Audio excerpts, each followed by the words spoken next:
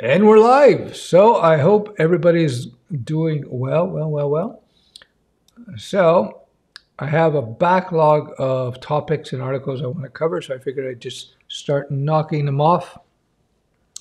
Uh, yeah, I hope everybody is well. If you can hear me, please leave a comment and uh, so I know. How many people are we have on now? Ooh, not too many. So we shall wait. If you're watching the replay, I'll put a timestamp below the video in the first comment so that you can uh, jump to the topic at hand. So, just uh, let me know if you, can hear me. And, uh, ah, hologram nunchuck knows a symbol. That's the secret handshake uh, symbol, hand, hand wave. See, uh, good audio. Good, good, good. Thank you. Appreciate it. Sounds good. Cool. All right, Kareem. How are you, Kareem Ahmed? Hologram, Kareem, Alex. Uh, Miss Miss Zobaz, how are you? My friend from Greece. Hello, hello, hello. Oh, you're up late, uh, Miss Zorbaz. You're up late. Uh, Malcolm, loud and clear. All right, cool, cool. How we doing? So I'm gonna I'm gonna wait for Costa uh, Costa Rica. I'm very jealous. My father loves going to Costa Rica. It's, it's quite a nice place. Yeah, let's have it. We should have a vote. Uh, Mr. Singh asks, is a degree really going obsolete? Huh. I don't know if it's going obsolete, but it's losing its value in many. Uh... Did I? All right. Don't send me a super. Send me the question right away so I get you before we get uh, 200 people on here or 300. Mr. Uh, Bataglia. I'm sure I pronounced that incorrectly, but yeah, please do that. Sorry about that. Good, good, good. So I'll be looking for JP's um, question. My apologies if I missed that. I guess if I missed that, I guess I missed that. Uh, yeah. Hope everybody's well. Uh, thank you, thank you. You too, Matthew. Good morning from Australia. Ah, very good. Say hi to my brother. He lives in Australia now. I'm just kidding. Um, all good. Hope you're doing great. I'm doing fantastic. Thanks, Mr. Karim. Teach me the way. okay, first, this is the official hands, the hand sign of this, uh, this, this, this, um, these live streams. I'm, I'm borrowing from Star Trek. This is the Vulcan uh, symbol. Uh, live long and prosper. So yeah. Uh, all right. So I'm looking for JP's question, and then it, we will move on. I feel no, you're in Toronto. Oh, okay. But Zorbaz is Greek, though. Uh, good, good. Well, thanks for watching. I, am pretty good Husam Al Halak. Very good. Thanks for joining in on the stream, guys. I'm just waiting for. Um, do I need a formal education to be a database developer? No. In the, uh, I'll get this here. In the um, technology space, you don't necessarily need a degree, a degree. In some companies, it helps. There's no question, but you don't necessarily need it. And the I like to cite a study that I think it was Apple and Google put out, where they looked at all their employees and they found there was no difference in ability between the Google between the people with higher education and not in terms of performance and quality. This is Apple and Google saying this, and in fact, Google uh, took some major shots against the university system recently. So yeah, if you're going to become a medical doctor or nurse, yeah, you got to get a degree because uh, you know obviously. But in technology space, not necessarily no. And I think it's becoming less and less important. Again, famously, Elon Musk he said, "I don't care if you have a high school degree, as long as you you know in terms of hiring people." All right, what's this answer? Do you think 5G will make hybrid mobile apps the new default and make Swift and Java content less popular? I've been saying for at least two years now or longer that I think hybrid mobile is going to be the predominant um, uh, method of choice, if you will, in terms of developing mobile apps. There's no question in my mind. Because already prior to 5G, um, between 4G and between the super fast phones, which are just getting incredibly fast every year, the need for native mobile is becoming less and less and less and less important.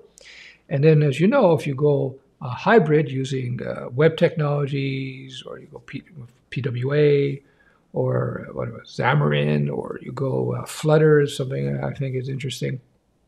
React Native. Um, these solutions are more than good enough today for the vast majority of mobile app development.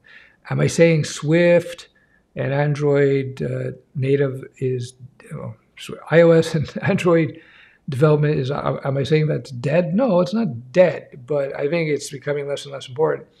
You know, there's you know, I would imagine for certain high stress type of applications like gaming or something or 3D or AR type of stuff, you may, and I underline may, have to go back to native. But uh, that's again because of 5G, because of the speed of devices, and because of the efficiency of cross-platform technology.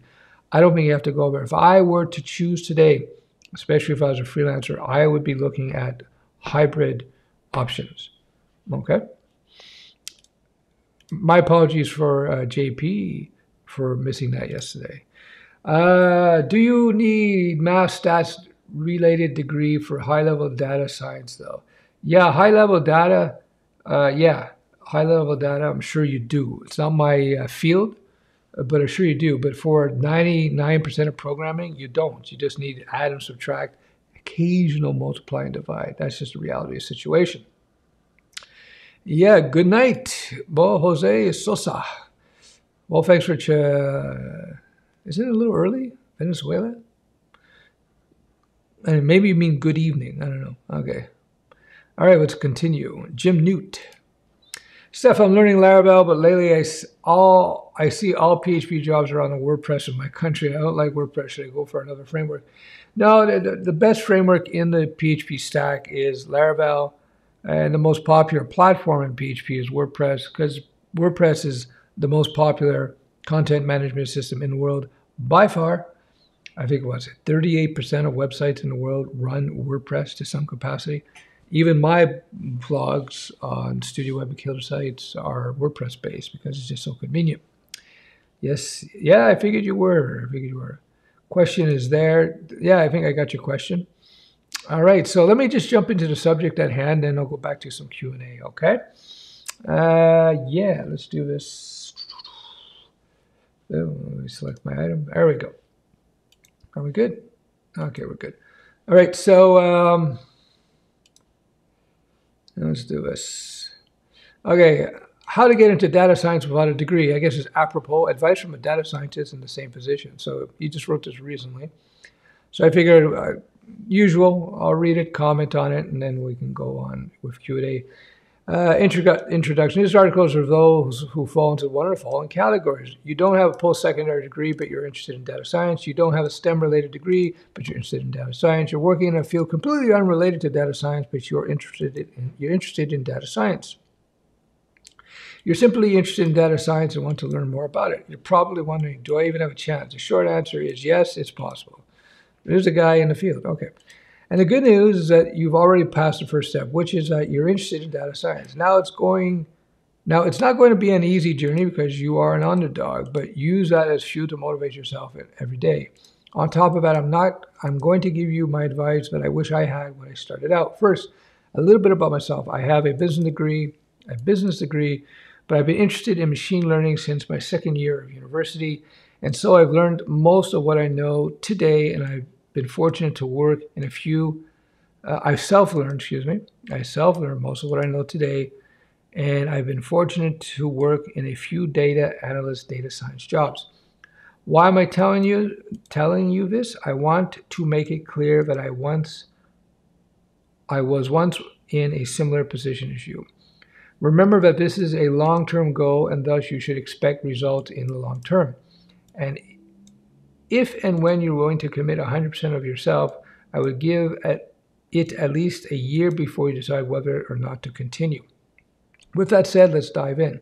How to get into data science without a degree? Getting into data science comes down to two things growing and showing your skills. That's the same thing in all development, my friends. Growing your data science skills, well, hold on. Just gonna keep going.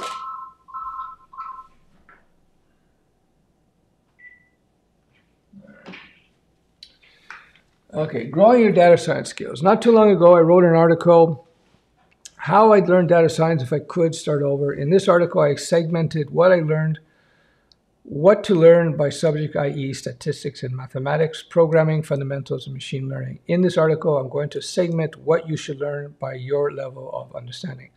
Level zero, fundamentals. You have to start with the basics, the building blocks, whatever you want to call it.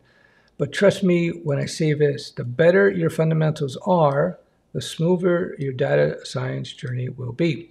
Again, on something I've been preaching about with when it comes to web development, right? It's just you want to be really good with your fundamentals. Anyway, uh, particularly, I re- recommend that you build your foundation, your fundamental, your fundamentals in the following topics: statistics, probabilities, mathematics, and programming. So uh, yeah, a lot of stuff outside of programming here. Statistics, stats, and probability. If you read my previous articles, when you've probably then you excuse me, then you've probably heard this for a million a millionth time, but a data scientist is really just a modern statistician. Uh, if you have no exposure to statistics and math, I recommend Khan's Academy course on statistics. However, if you have some knowledge in calculus and, and integrals, uh, I strongly recommend that you go through Georgia Tech's course called Statistical Methods. It is a little more difficult as it goes through more proofs, but it will help you understand the intricacies of each idea. Mathematics, depending on how much attention you paid in high school, will determine how much time you need to spend learning basic mathematics. There are three areas you should learn calculus, integrals, and linear, linear algebra. Calculus is essential when it comes to anything related to optimization, which is quite relevant in data science. I recommend Khan Academy's course on calculus for this. Integrals are essential when it comes to probability distributions and hypothesis testing. I recommend Khan's course on that. I'll put a link to this in the uh, in the comments. So if you want to reference this all. Linear algebra is especially important if you want to get into deep learning, but even then, it's good to know for other fundamental machine learning concepts like principal, component analysis, and recommendation systems. Surprise, surprise, you can guess what course I recommend I can recommend for this. The link is provided here. Anyway, programming. Just as having a basic understanding of math and stats is important, knowing the core fundamentals in programming will make your Oh, there you go. Will make your uh, sorry, will make your life much easier, especially when it comes to implementation. Therefore, I recommend that you take the time to learn basic SQL and Python before diving into machine learning algorithms. Yep, if if you're completely new to SQL, I recommend going through Mode's SQL tutorials, very succinct and thorough. If you're similar Similarly, if you're completely new to Python, Code Academy is good resource to some familiarize yourself with Python. Of course, I recommend mine over at, at Codecademy, but uh, I'm biased. Uh, once you've learned the fundamentals, you're ready to specialize. At this point, it's up to you whether you want to focus on machine learning, algorithms, deep learning, natural language processing, computer vision, etc. Yeah, my friend does this his business that's is very specialized. It's working pretty good. Anyway, if you want to learn more about machine learning algos, okay, gives you a list of plays. You want to more learn about deep learning. If you want to learn more about NLP, blah blah blah. Again, I'll put the links there. Uh, there are so many more things you can specialize in, so please explore more before you make a decision. Two, practice. Like anything else, you have to practice what you learn because you lose what you don't use. Here are three resources I recommend to practice refine your skills. LeetCode, uh, Pandas, practice problems, resources, a repository. Uh, I'm skimming through because you can get into the details if you want. Uh, by completing these practice problems, you'll know how to filter, sort data, aggregate data, and use datapply to manipulate data more. Kaggle is one of the world's largest data science communities with hundreds of data sets that you can choose from. With Kaggle, you can complete, compete in competitions or simply take advantage of data sets available to create your own machine learning models. Showing your data science skills. Learning data science is one thing, but something that people commonly forget is marketing themselves. You eventually want to show what you've learned. This is especially important for you if you don't have a degree related to data science. It's the uh, it's the same thing in web development, right? I talk about that as well. The steps to getting a job is A, learn the fundamentals, B, uh, do like two or three little mini tutorials, whether it be on Studio Web or elsewhere, and then uh, then go out there and do real world jobs, small jobs for real people. It's very important you do real world work, and then you put all this on a nice website to use to profile yourself to market yourself. Anyway, so saving here. Uh, once you complete a personal data science projects, below are several ways for you to showcase in the market. Resume. First, leverage your resume to showcase your data science projects. I recommend creating a section called personal projects where you can list two to three projects you've completed. Similarly, you can add these projects in the project section on LinkedIn. Oh, there you go. You can use LinkedIn. Uh, GitHub. Yeah, I strongly recommend you add to GitHub, of course. Um, again, a personal website. Speaking of websites, I strongly recommend recommend building a data science portfolio in the form of a website as well. HTML and CSS are very simple to learn, and it would be a fun project. If you don't have the time, something like Squarespace would work well as well. Blogging on Medium. I am biased because this has worked well for me, but that doesn't mean that I can't recommend blogging. With a platform like Medium, you can write project walkthroughs like mine on wine quality prediction. Anyway, Nonprofit, lastly, take advantage of non-profit data science opportunities. I, came across a resource a resourceful article written by Susan Currie Sivek, which provides several organizations you can get involved with. That's it. Thanks for reading. So there you go. I uh, when I read these, I'm reading them the first time with you, and I like. I, I'm not a data scientist. I'm not an AI guy. I don't pretend to be. I have friends who or involved in that, who own companies involved deeply with that. So I talked to them about stuff, and I have a good friend of mine who's doing it. I think it's, it's either his master's, his PhD in that, and I have conversations with him on occasion. That said, you see the pattern. I think most people here are interested in the job opportunities when it comes to code, whether it be in data sciences, machine learning, or web development, or WordPress, whatever. Whether you get a job, well, I call it the monetization of three monetiza- monetization tracks: getting a job, freelancing or starting your own business, a SaaS-based business, if you will. That's how you monetize. That's how you can monetize your technology coding skills. Monetize simply means make money from it. So you see the pattern is the same. I teach the pattern, you know, it's pretty much the same. Do your fundamentals, do a couple of projects, put up a website, showcase your projects. He adds build a LinkedIn profile. That's a good advice actually, because LinkedIn is very business oriented um, rather than Facebook where you have pictures of cats or something. And uh, yeah, then you just head out there. Well, GitHub as well if you have a repo stuff. People want to see if you don't have a degree, as he mentioned. People want to see real world skills. You gotta, you can't, you don't have a piece of paper to show. So what you have to show is real skill, real accomplishment. And for me, when it comes to software development, anything really, if you can show that you've done something for real as opposed to just done tutorials or projects on your own, um, that is huge because it shows that you've have real world experience. You've been able to work with other people. You'll be able to flesh out things. You're not just following a script. You're actually thinking about things and coming up with solutions. And that's the key to the whole thing. So there you go. All right. So we got that done pretty quick, 18 minutes in. Um, stumbling along a little bit early on. You're welcome madame. Uh, uh, good night, guys. The quality of life is, is great. I'm impressed. So I thank you. I appreciate that. I work on it. I work on it. Uh, is Flutter hybrid mobile? I would consider Flutter hybrid mobile because um, it, it, works across both platforms, you know. Um, uh, any tips on making algorithms fun? Yeah, avoid them. No, I, I'm I'm not a big well. If you're in data science, yes, but if you're not, if you're just doing most programming, algorithms are are kind of like a tertiary thing, not even secondary. They're tertiary thing. So if you're not in data science, you know, it's not it's not the thing. Uh, you can look at algorithms and creating them as solving puzzles. You know, if you're into puzzles, some people like puzzles, some people don't. You know, don't chase a specialization in technology and programming and coding based on uh, dollar signs that you see. Whatever specialization you get into, whether you go into data sciences or AI or full stack or front end or mobile, they all make really good money.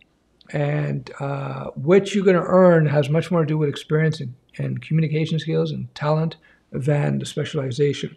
So my advice to you, learn your fundamentals of code and then pick, just start dabbling around, see what you like.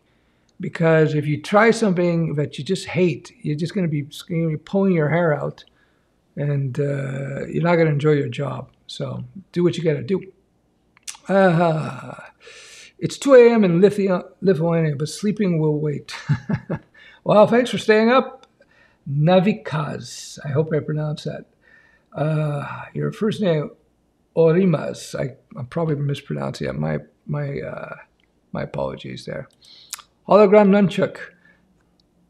Steph, you need uh, a receptionist. Yeah, yeah. I've had in the past. I've had in the past. Seems seems legit. All right. Hey, Sunrise, Florida, very cool. 1 here, 1 a.m. here in Munich. Uh, how in depth do you go with your SQL in your courses? I don't go in depth. I teach the basics. I teach you how to create a database. I teach you tables, etc.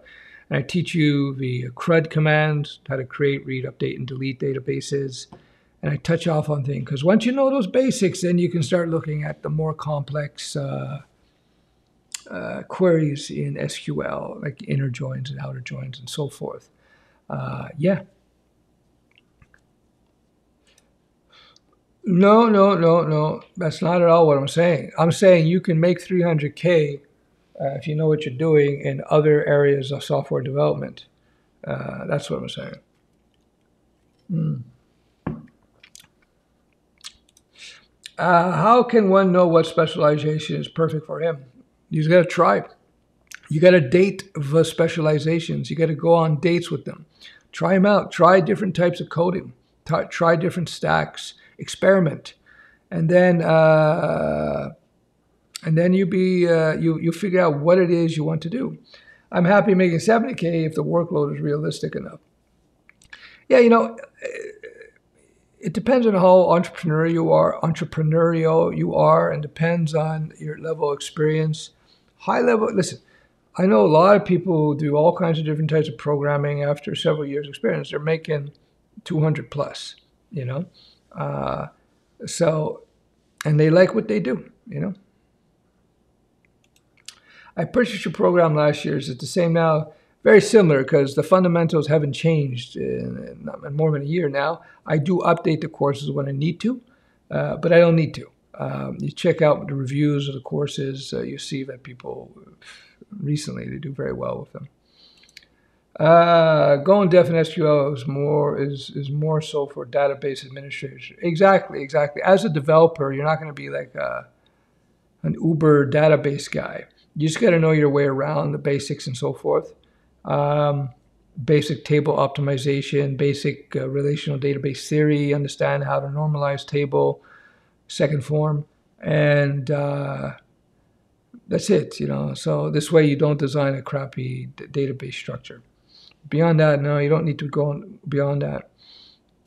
You could, but you don't have to. Is SQL similar to Access? And if I have that experience in relational data, is it easier to learn? Yeah, well, Access, what they did is they basically underneath Access, I think it is flat file. It used to be, and they just put it is it's, it's an SQL based database at the end of the day. Um, every da- SQL database has its own pros and cons. You have so you have Access, which is kind of lightweight. Access is not designed for uh, multiple users hitting it. It's, it's, it was a desktop application, so you couldn't take an Access database and then plug Access to the back of a web app. Well, you could, but it's not going to be very performant but it's easy if you learn how to do your you learn table design and SQL with Access, then you can move over to Postgre or MySQL or SQL Server relative ease. If you get into Oracle and so forth, then you get a, it's another thing, you know. Here we go. Opinion on blockchain development.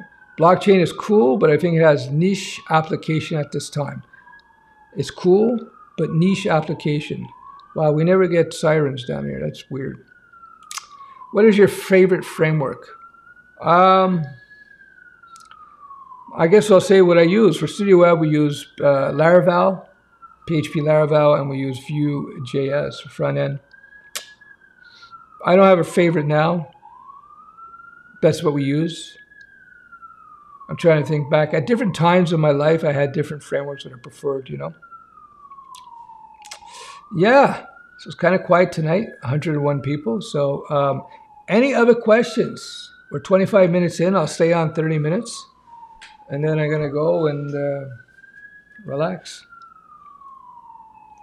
Hmm.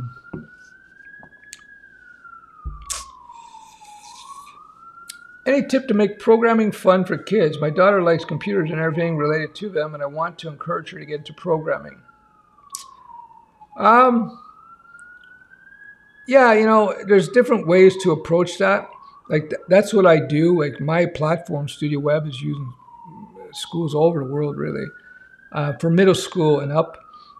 And uh, there's a whole bunch of things that I put into my my code training platform that makes it fun for people. Uh, it's gamified first and foremost. So as you're as a, as the students are learning the code, they're scoring points, unlocking levels, earning badges. So that helps with everybody, not just kids, adults too. And I make it fun. You know, I make it fun. There's a whole bunch of different things. Um, I find though, I think a general rule: if you can show your kids that they're doing something real, this siren's really annoying me if you're doing something real with the coding, you can show them that it's actually real. You know, they're building a real web page, they're building real animations. It's much more fun for kids. But again, everybody's different, right? Some people, no matter what, they may not like the code. I don't know. And someone will love it, you know? Oh my God. That siren. Got my first junior dev interview tomorrow. Any advice? Did you look up what the company's about? What stacks they're using. So you understand their business model, you understand what their technology uses. That's important. And uh, so you should just ask them questions, you know, and just be very friendly and polite and go in there with the um, with the ex the expectation that you're there to help out and uh, yeah, just be uh, be friendly and uh, see what happens. If it doesn't work out the first time, no kidding, no worries. You ask them, so ask them afterwards if they don't hire you, say, so what did I do wrong? They'll tell you, and then you learn and you go on to the next one. So good luck. I'm not saying that will happen. You, you might very well get the job. It'd be great. But yeah, you should learn about your target uh, company that you want to go work for. Uh, what do you think about HTTP S3. I have not looked at that, I confess. I have to look at that. What is the next big tech to, to, to die? React? No. I don't think React is going to die. I think if it's not dead yet, I think Bootstrap is uh, going to go away because Flexbox and Grid are pretty good. I would say Bootstrap. Nothing wrong with Bootstrap, but you know, if you, one of my rules, if if you can do something natively without using a third party library, typically that is preferable. Because uh, eventually the native solution, unless it's really hard, but typically the native, the native solution will replace the third party library. Bootstrap was one of the most important technologies around ever for the web stack. And um, I'm not sure how much how important it is today with the grid since we have uh, built-in CSS grid and Flexbox. That would be my guess. React, I don't think it's going anywhere. Can you make a mobile app using PHP? Of course you can. It's the back end. You obviously, obviously you're going to have to use HTML and CSS for the front end, JavaScript, but of course PHP for the back end. I have a physics degree. Can I be a developer? Why not? In India, you have to have an engineering degree to get a coding job. Well, I don't know about India, but I can tell you that if you have a degree, especially in physics, and then you start learning to code, well, I just wrote, I read an article where the guy was talking about how to get a data science job without a degree. So since you know physics, you're like you're more than halfway there, right? The siren isn't that loud on this side. Okay, that's cool. Well, I have a directional mic here, so uh, let's see. That helps with that. But I usually it's very quiet here. That's the first time, and I've been here for six months now since I bought, and it's like first time I actually had noise like that. It's weird. Uh, all right, how are we doing for time? All right, I'll answer a few more questions, and we're gonna finish the night. Which would you pick, lead developer or senior full stack developer job? I get to pick the role, and the other gets advertised. The company has 200 employees. Ooh. Ooh, that's a good one. Lead developer, senior full stack developer job. That's interesting. It's um, define the two because they, to me, on the surface, they would seem very similar. Senior full stack developer. Oh, got it. So, the lead developer, you're going to manage a whole bunch of people, not necessarily write code, but you're going to manage. Whereas you, or with the senior full stack, you're going to you're just going to be one of the top coders writing the full stack. If, if I guess that, correct me if I'm wrong, Daniel. My choice would be depend on whether or not I want to continue to be a coder, if I want to get into higher level into management and architecture. If you want to get into high, higher level management and architecture, I would get into a lead developer position, assuming my, my assumptions about what a lead developer is versus senior full stack is correct. Uh, I'll put this out so we get this out there. I have not used Mr. Yichi. I have not used Next.js. I don't know. I probably Inishi technology. You got to understand the uh, libraries and frameworks. They come out all the time, and people who use the frameworks, or they'll tell you how great they are and they're the best ever. These days, I think the technology is just getting so good. You know. Alberto Garcia. Let's see what he says. I want to change my career. I'm 27 years old. Any advice of where and how to get a small freelance project as web developer? I want to get some experience and keep my job until I get a green card. Yeah, yeah, you keep your job and you always transition into the new career. That's one of the first things I teach. Transition. You don't want to put yourself out there and then be like, ah, I got no money coming in. Um, terms of how to be a freelancer, I've, I've, covered this many times. Look through my back catalog on YouTube. There may be a title in the YouTube uh, videos where I talk about just getting your freelance jobs and how to do it. If you want to get into detail, you can check out my freelance course that I uh, have.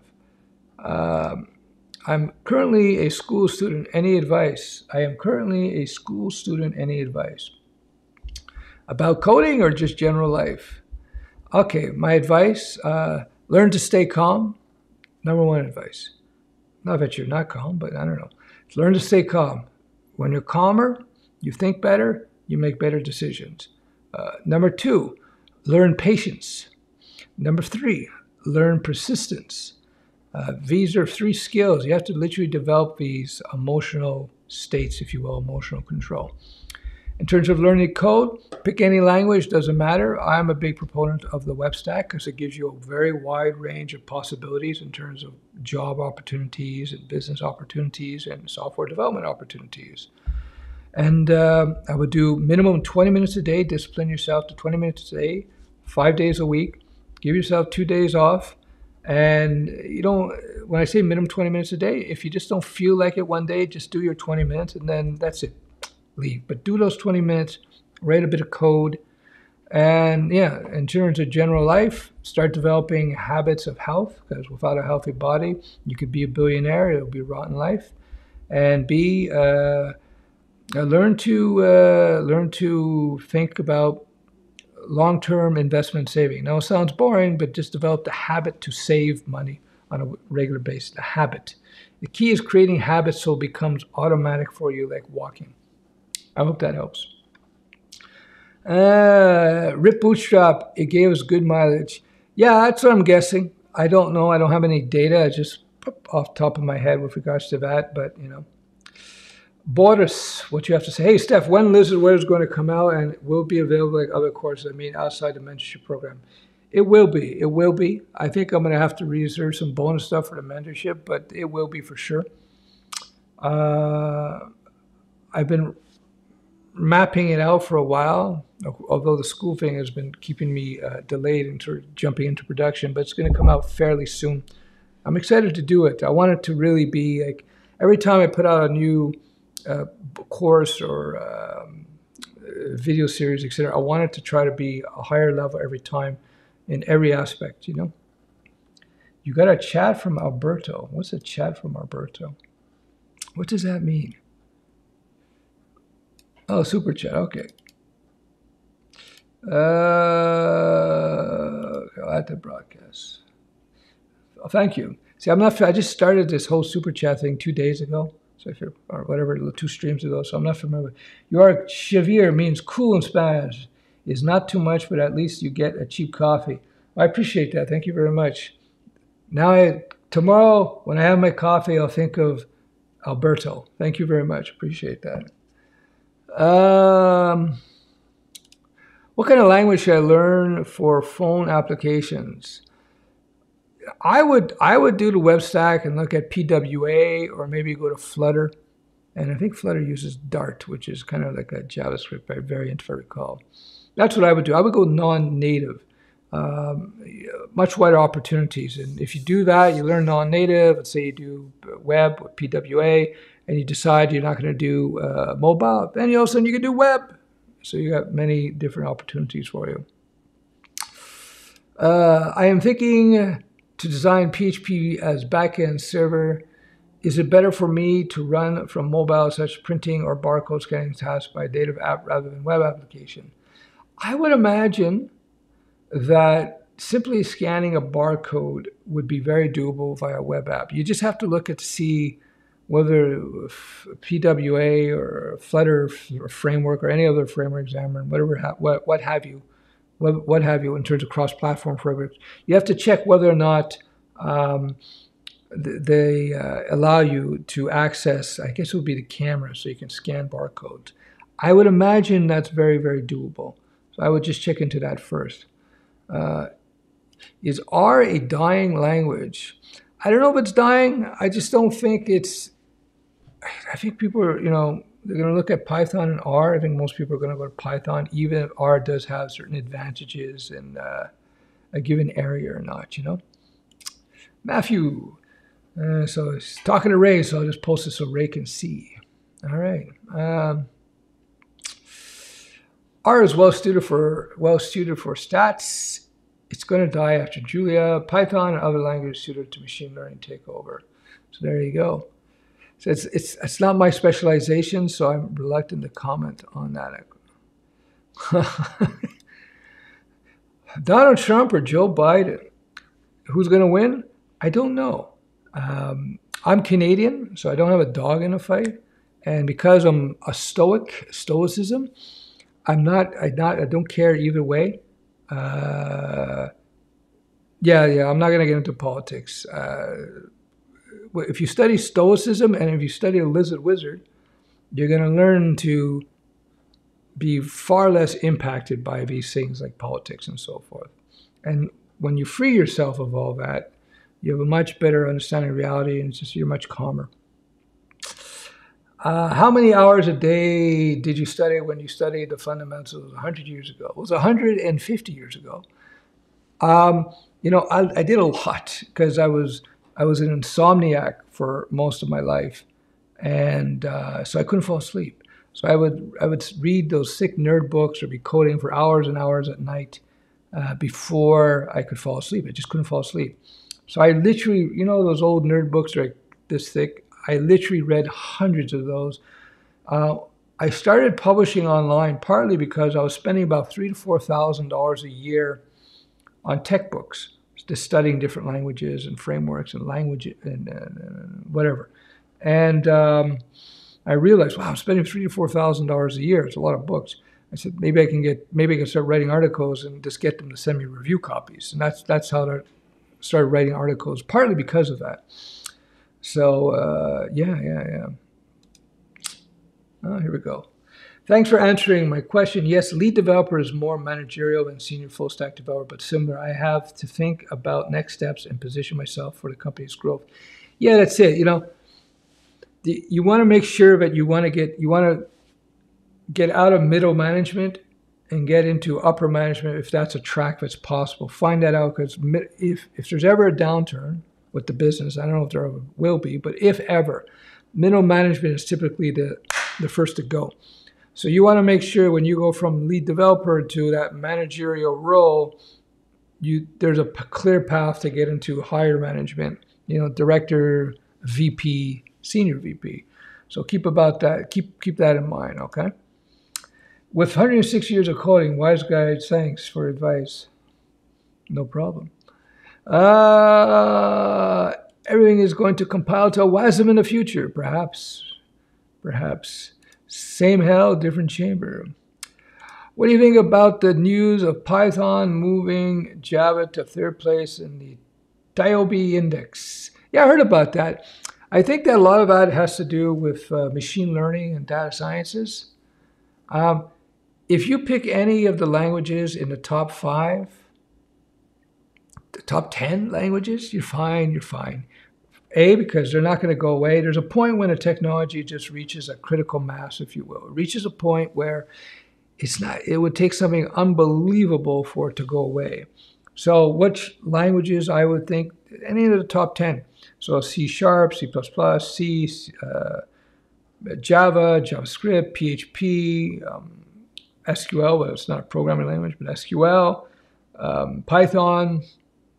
Right off the top of my head, these languages, they will probably never die. They're just too big, you know? So I wouldn't be too concerned. And next thing is that if one language becomes unproductive for you, or you can't find work for some strange reason, or you, most likely you just get bored, you could easily pivot to the second and the third language and the fourth language and the fifth language very easily because you're going to find they all share very similar properties. In my career, when I was doing freelance work or writing code to make money in some capacity, whether it's freelance or writing my own software, I've used, I think it was like nine languages over the years, eight or nine, I've lost track now. You know, Java and JavaScript and PHP and C Sharp and uh, VB.NET, which is C Sharp, VB script, uh, uh, VB, uh, Lingo, etc. I forget the other ones. You know, so you can just you could just uh, zoom around. You know, let's see what Abish Sinan has to say. Sometimes the logic doesn't click at the moment. What you sh- should do at the time. Yeah, that's normal. When you're learning something new, you're literally creating new. You're constructing new neural pathways in your brain. And so you sometimes you're going to give your brain some time so drink some water, uh, sleep on it. So you're hitting you're hitting a wall, meaning you're coding, you just don't understand, you just don't understand, or you hit a bug, very common. You hit a bug, you can't find the bug, you can't find. Just move on to something else, drink some water, do some exercise. Next day you wake up, you probably get the answer. And when you're learning, it might take a couple of days, and then your brain will just click one day. You go, oh, you wake up, oh, that's what it is. Make sure you get good rest too. So don't worry about it. Don't stress out about it. It will come if you just keep approaching and approaching and approaching. It's like chipping away at something. You have trouble sleeping. No, no, no. I used to be insomniac. Used to a long time ago. It's because I had uh, I used to box, so I had broken my nose uh, two or three times in the ring.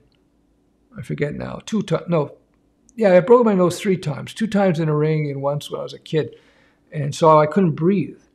So I would I would, I would have to breathe through the mouth. It was just a disaster. And ever, then when I got my nose fixed and I got the septum straightened out, I could I could sleep. I fall asleep right away now, like a baby. Uh, so not anymore. Uh, so I'll leave that to. Python is still alive. I believe R will be niche, but that's just my humble opinion. Yeah, I think I think R will be niche as well. Andre Rodaz, currently working in BI. In my opinion, R is an awesome language to make dashboards with Shiny. Might be niche, but I think it's isn't going to die with Julia or Python. But uh, love Stoicism, Marcus Aurelius was great. Yeah, that's cool. Yeah. Uh,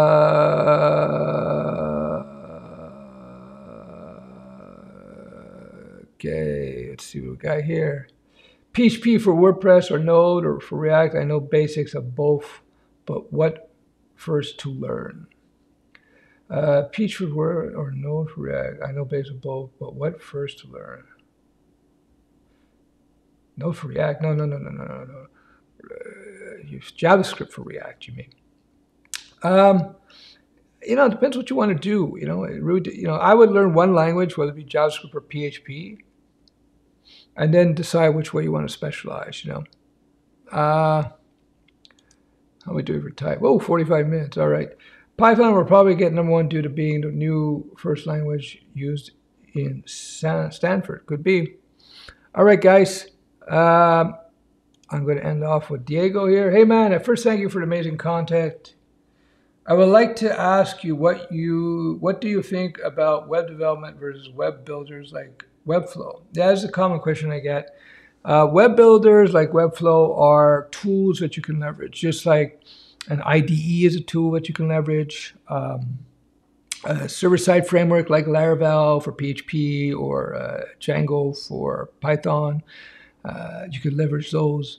They all there to speed things up. Trust me, the amount of productivity you can get today as a developer, web developer, or whatnot, versus uh, 20 years ago is monumental.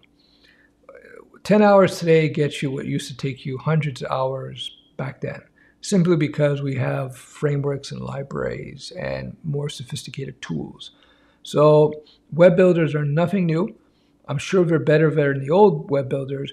Don't take them as um, a threat to the job.